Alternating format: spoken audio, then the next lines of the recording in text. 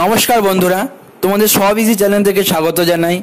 গতকাল আমি ইতিহাসের কিছু গুরুত্বপূর্ণ কোশ্চেন তোমাদের সামনে তুলে ধরেছিলাম।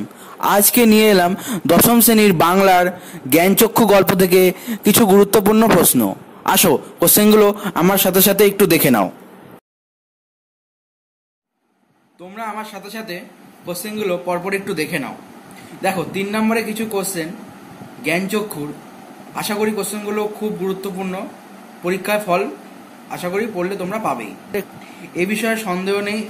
এ বিষয়ে সন্দেহ ছিল তপনের। কীভাবে তপনের সন্দেহ নিঃসহ হলো? রত্নের মূল্য জহুরির কাছে। কোন গল্পের অংশ? কথাটি কোন অর্থে ব্যবহার করা হয়েছে? মেশোর উপযুক্ত কাজ হবে সেটা। বক্তা কে? এখানে কোন কাজের কথা বলা হয়েছে? এখানে দেখো কিছু পার্ট মার্কিং কোশ্চেন আছে। ওয়ান প্লাস টু একটু তোমরা লেখার সময় বা বোর্ড এক্সামের সময় একটু দেখে নেবে। তপন কে? লেখক বলা চলে। কথা মনে হওয়ার কারণ কি? এটা ডাইরেক্ট তিনেই আছে। বুকে রক্ত ছলকে উঠল তপনের। কখন এবং কেন এরকম অনুভূতি হয়েছিল? পৃথিবীতে এমন অলৌকিক ঘটনাও ঘটে। কোন অলৌকিক ঘটনার কথা বলা হয়েছে? গল্প ছাপা হলে যে আহ্লাদটা হওয়ার কথা, সে আহ্লাদ খুঁজে পায় না। কার কথা বলা হয়েছে? তার আহ্লাদ থেকে বঞ্চিত হওয়ার কারণ কি? আট নম্বর, দেখো।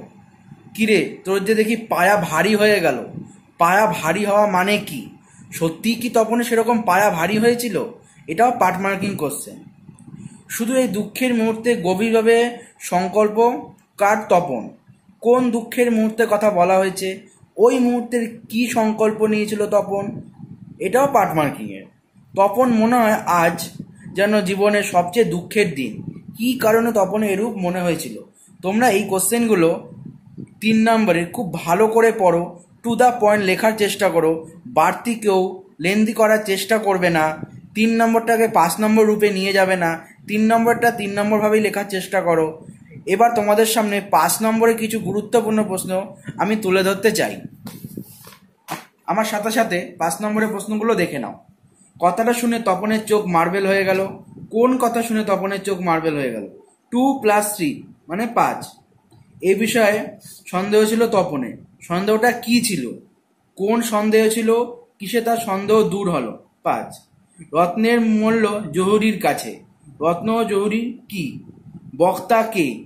বক্তার তাৎপর্য লেখো। এটা one plus one plus three পাঁচ। তোমার গল্প আমি ছাপিয়ে দেব। বক্তাকে সে কি ছাপিয়ে দিয়েছিল?